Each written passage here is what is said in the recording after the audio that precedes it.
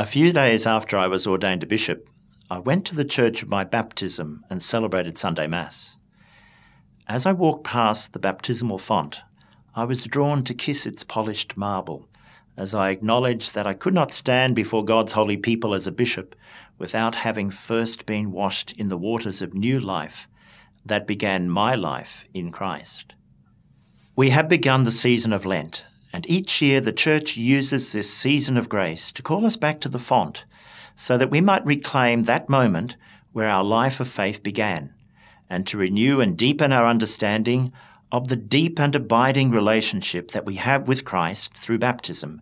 Hence, to appreciate even more that moment when we were claimed for Christ and began to walk the road of life with the living God walking by our side. Today's gospel has Jesus going out into the desert, into solitude, to wrestle with the powers of evil.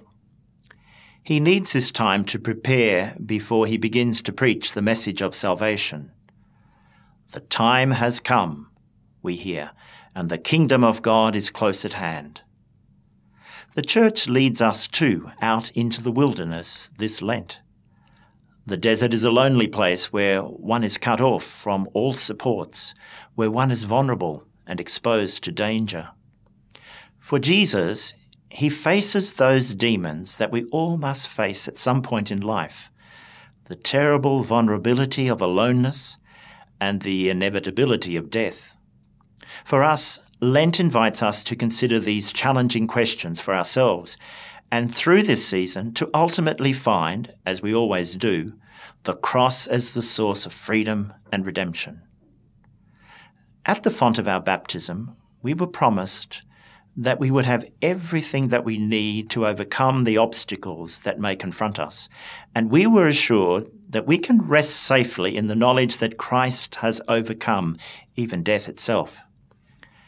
The Church has every confidence to call Lent a season of joy because within this testing time, this desert encounter, it is also a season of promise, a turning point when the power of our baptism and the deep and enduring bond that was formed on that day between ourselves and God actually draws us deeper and deeper into that which is at the core of our being life to be lived confidently with God in Christ.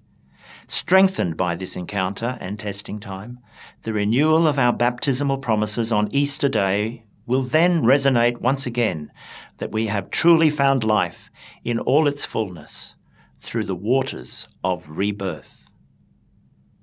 Happy Lent.